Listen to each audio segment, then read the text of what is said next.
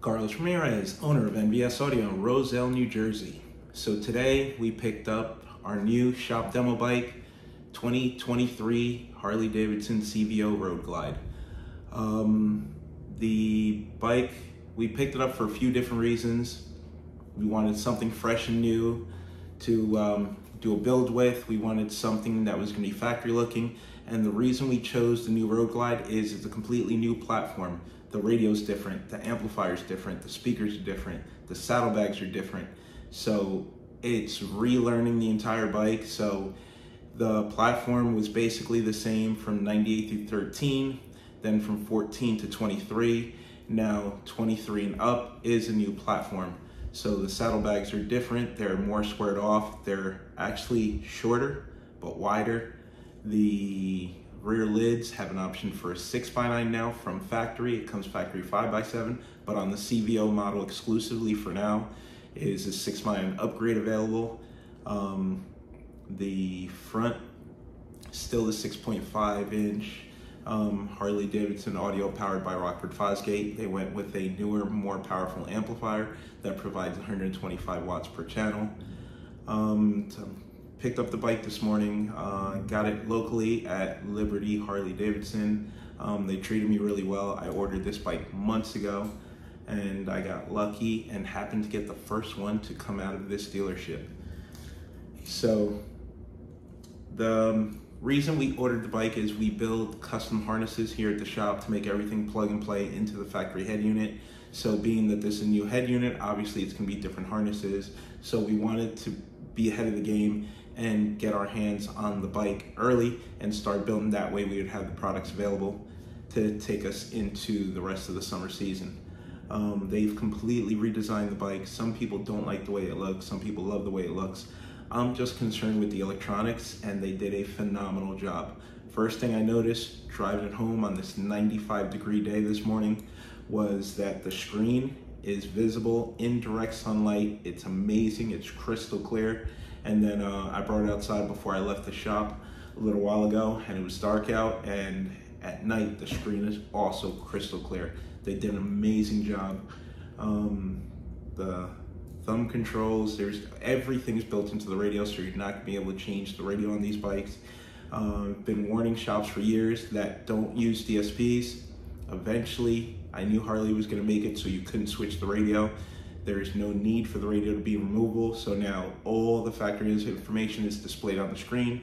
They've done what Indian's done, they've done what Polaris has done, they've where they've done what Honda's done on Goldwing, where the screen is now a display it's not a radio unit, it's a display unit, and there is no physical radio to remove. So the screen's only about two inches deep and there is nothing back there. I'll show you that in another video coming up. So we bought the bike because I assumed that everything, they normally put everything into the CVO and then it trickles down into the lower models. So I assume the same thing's gonna happen here. So I think the screen's gonna be available in the lower models next year. I think the new saddlebags gonna be available in the lower models. Uh, I don't see them going backwards. The 6.5 is something they should have done years ago and they finally did it and it's great. Um, in this video I actually show um, the factory setup. I RTA'd it and I showed how it sounds with the 5x7s and then I actually got the 6 nines from the dealer and did the stage 3 6 nine upgrade which is only available for the CVO currently and it made a huge difference in sound. This is the best factory audio system I've ever heard in my life on a motorcycle.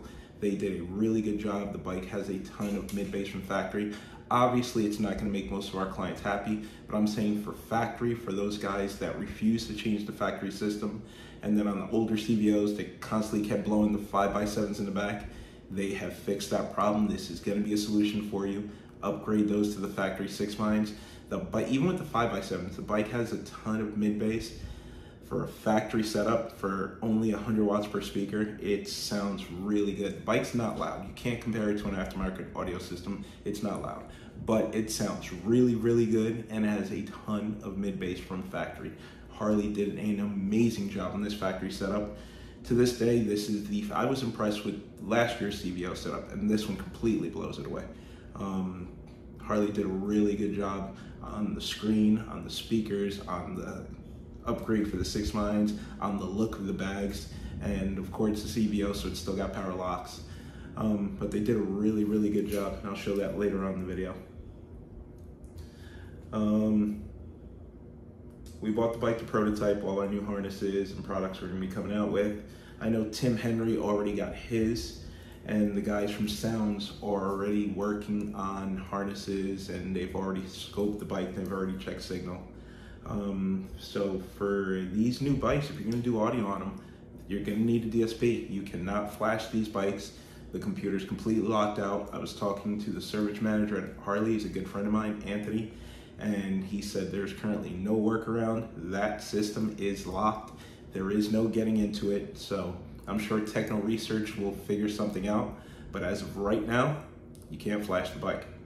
Um, we're obviously, so these shops that don't use DSPs and they don't believe doing DSPs, I guess you won't be doing the new CVO. You can't remove the factory amplifiers yet because it's data from the radio of the amplifiers. So you're not going to be able to get signal from the radio. The radio communicates with the amplifiers via data. So if you pull the amplifiers out, there will be no signal to tap into. We'll get into more of that into another video. So it's a non-issue for us because we use DSP on everything. So we're just going to catch signal coming out of the factory amplifier. Um, it sucks that we won't be able to remove the amplifiers and gain the extra space, but at least we can catch signal from the amplifiers. And then um, I haven't dove into it yet, but um, the factory amplifier is built-in DSP. So hopefully I can manipulate the signal to give me a clean output signal since I can't flash it. So hopefully I can manipulate the factory DSP to give me a flat signal going into my DSP. But um, that's something for a later video. The screen is a beautiful 12.3 inch screen. Um, the factory amplifier is 125 by 4 with the DSP built in. It's the same 6.5 inch three ways that were available in last year's CVO. The big difference is this year they went with a 3 by 5 by 7 that's actually attached to a 6 by 9 plate. So it looks like a 6 by 9, but it's not. It's a 5 by 7 If you look closely, you'll notice that there's metal surrounding the 5 by 7 So it's a 5 by 7 installed in a 6 by 9 plate. When you remove that, you can upgrade to the stage 3 6 by 9 available now um, at the Harley dealership. I'll give you the part number later in the video. And it's a simple, simple swap. It's four screws to remove the grills and four screws to remove the speaker. The speaker drops in from the top. So you remove the grill, drop in the speaker, take out the 5x7, drop in the 6 9 reinstall the screws, reinstall the grills.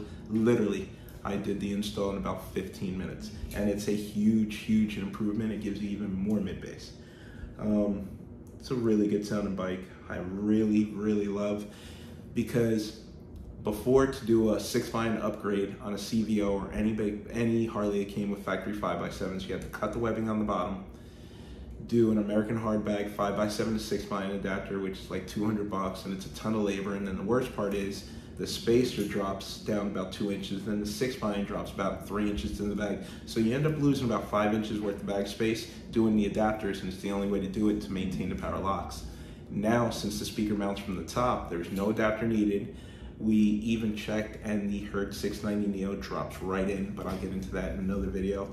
This time around, I only want to talk about the factory setup, but I am so happy that we can upgrade the back to 6 without cutting or modification. Um, this bike will be at, will be at SEMA this year. So NVS Audio will have a booth at SEMA this year and this bike will be in the booth. Our goal with building this bike is to make it look 100% factory, but obviously sound the way the NVS Audio bikes sound. So it's gonna be a challenge. Um, we have to get this done by October. Um, and we got to figure out our harnesses, our amplifiers, our mounting locations. But uh, we're going to document the whole thing, the entire thing. There's going to be a bunch of videos on this build. And uh, if you guys are going to be in SEMA, I invite you guys to come check us out. So um, let me get to the video. It's me picking up the bike from the dealer this morning, bringing it to the shop, taking it apart, and uh, jumping into it. Only thing I did to it was uh, I RTA'd it and I listened to the factory setup with 5x7s.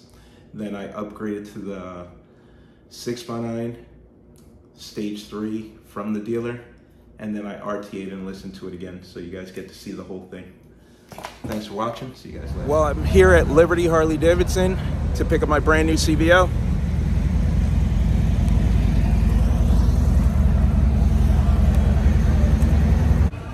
Nicole's my sales girl, and uh, Eddie is the sales manager. You can go in, talk to them now.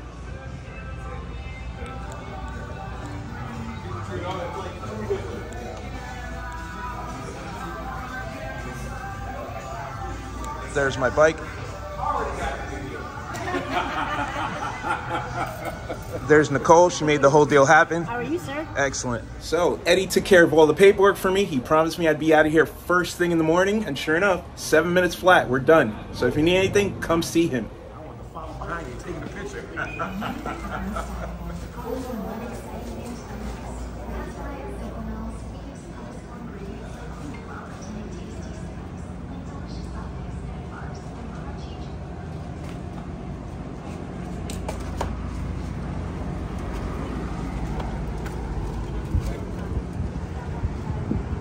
I'm gonna bring it up there for its first service.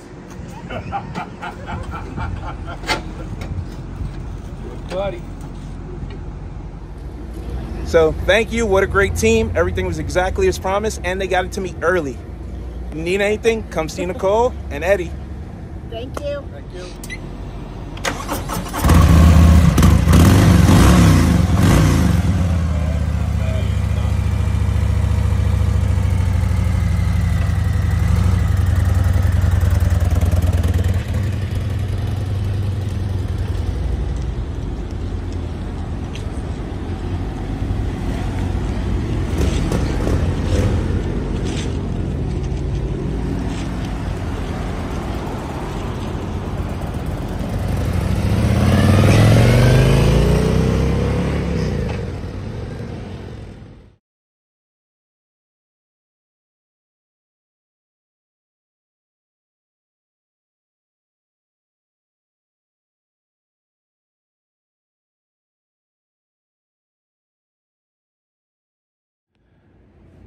We're already working with Tim Nagy. This bike will be getting 10-inch mid-bass drivers in the bags, so the bags are completely different. They're wider.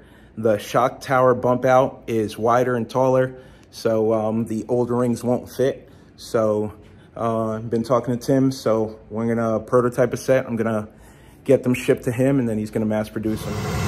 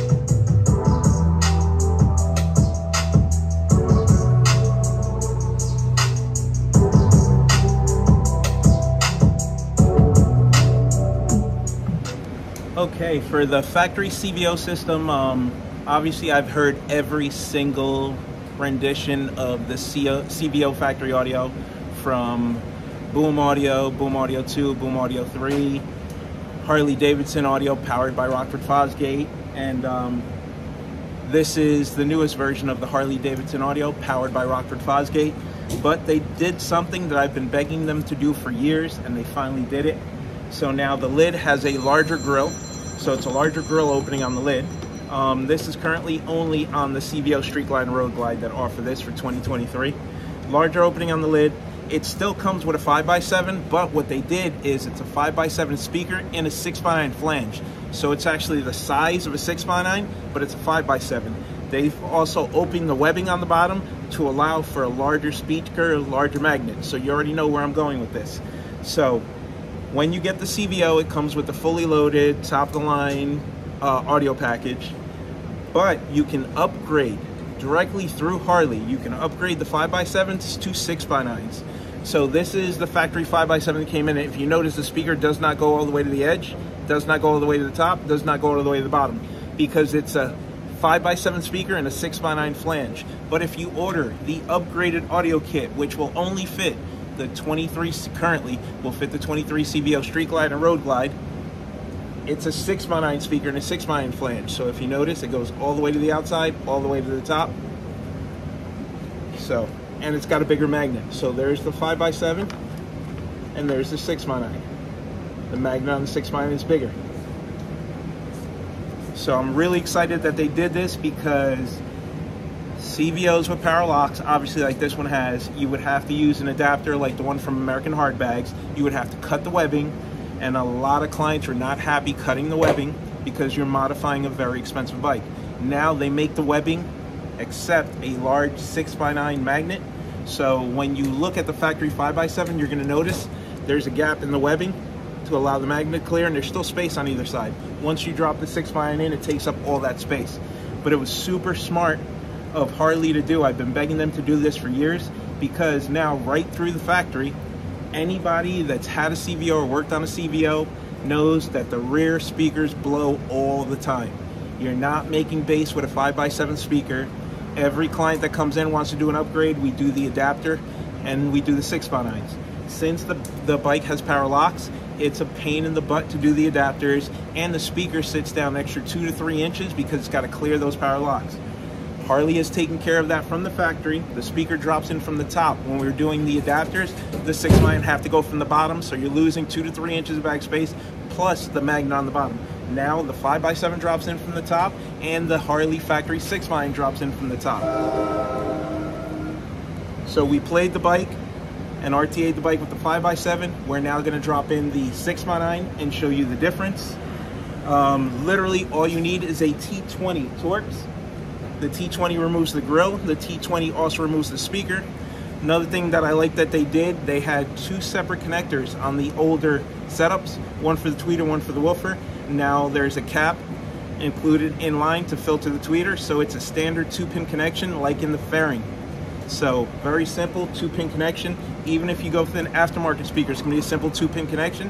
The only issue you're gonna have is the negative on Harley is wide, it's the wider terminal, and the positive on Harley is narrow, which is the complete opposite of car audio, and 95% of the speakers out there, where the wider blade is positive and the narrower blade is negative.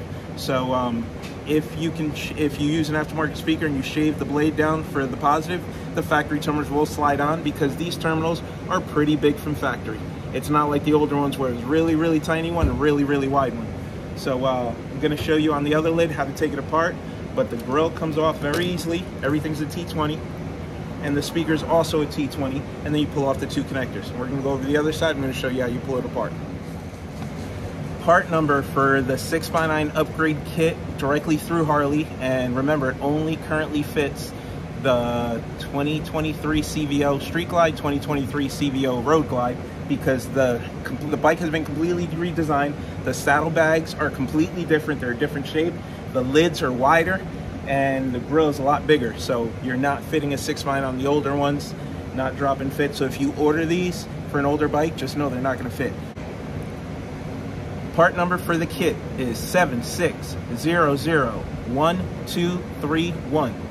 So the kit includes two stickers, a left 6 9 and a right 6 9 if you want to order, let's say you break a speaker or, or, you go down on the bike and you only need a speaker for one side, the speaker individual part numbers. So the one for the left hand side is a 76001182.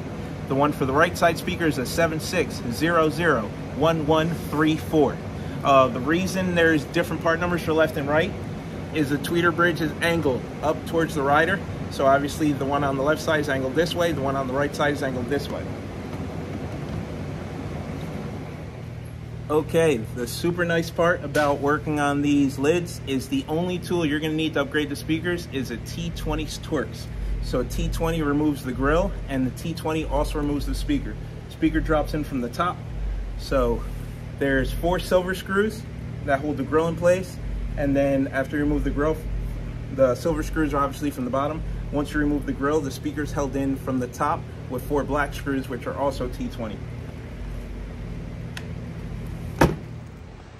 One, two, three, four.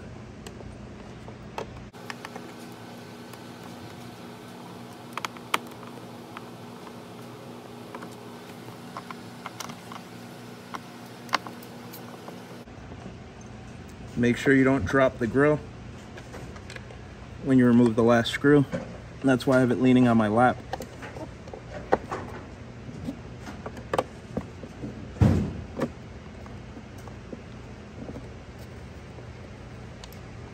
It. Grill's off.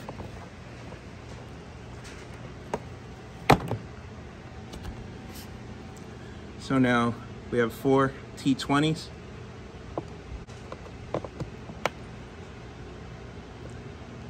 I have no idea why they made them this long, but okay.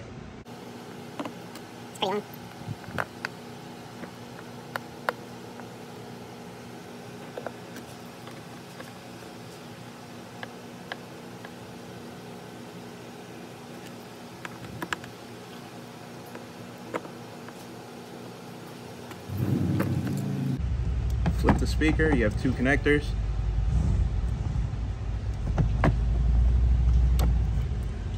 Black is negative, white is positive. Now the white is skinnier and the black is wider.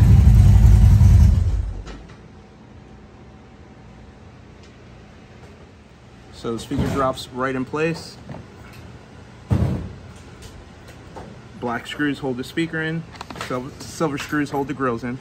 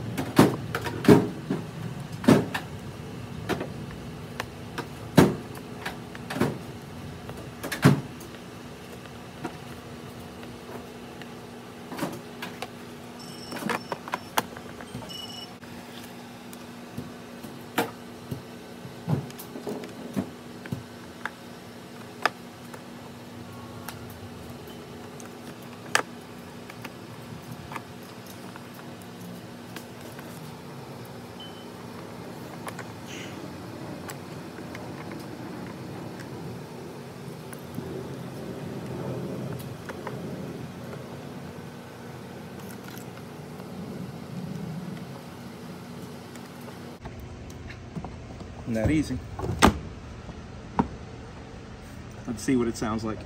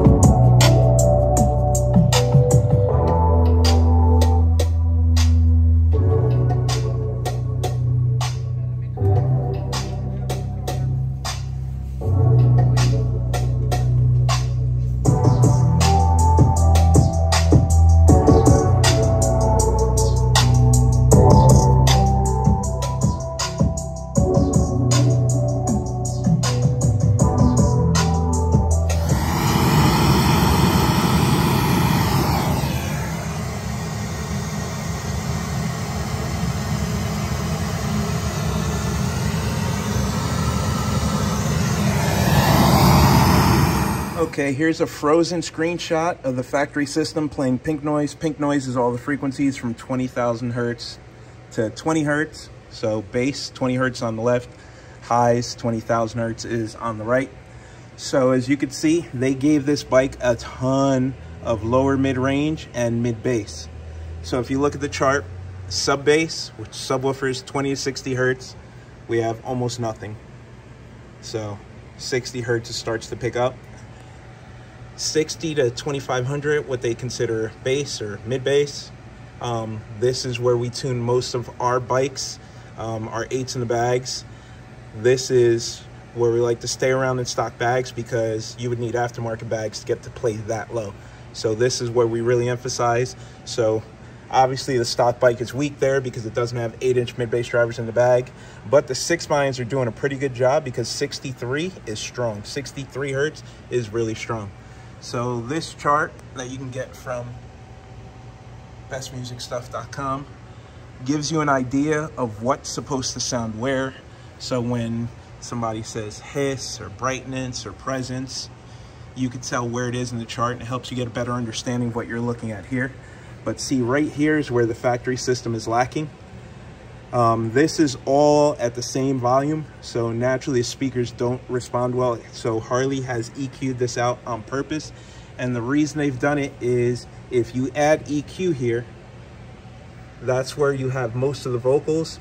And if you EQ it, that's where you can get ear fatigue. And so they chose to dial it back there. So the bike has is really bright on the top end and has really decent bottom end for a stock bike. The vocals is where it's lacking but we're not picking on Harley. Most factory systems have this issue, and this graph looks way, way, way better than any other factory Harley audio we've tested. It normally has a bunch of gaps. Here we only have one big gap. Um, I like the fact that 8K is drawn down because 8K is really piercing, but um, this is pretty good for a factory setup, but um, to get that much volume in that lower mid-range section, I'm really impressed with they did a really good job with it. So uh, we're gonna put this up against our aftermarket setups. But I just wanted to give you a visual representation of what the new CVO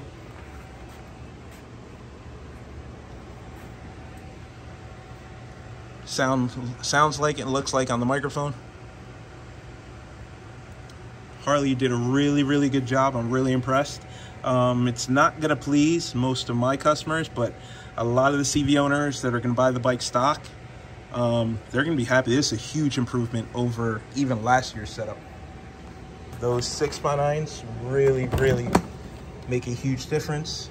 You see how the magnet is completely filling the hole now. Great job that the Harley team did designing this setup. I'm really impressed. For a factory setup, you really can't ask for too much more without taking up bag space and getting everything from factory. I think they did a really, really good job. The screen is amazing on this new bike. And I rode it here from the dealer this morning. In direct sunlight, no problem seeing that screen at all. None. Zero.